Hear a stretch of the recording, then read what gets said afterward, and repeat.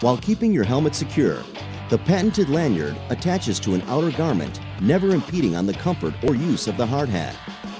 To properly install your hard hat lanyard, slide the raw end of the stretchable webbing through the slot on the side of the hard hat. Then place the raw end through the opening of the cam buckle. Make sure to adjust it to the desired length and then press down on the cam buckle to lock the webbing in place. Pull on the lanyard to ensure the cam buckle is fully engaged. If the buckle snaps back to the open position, be sure to repeat the process.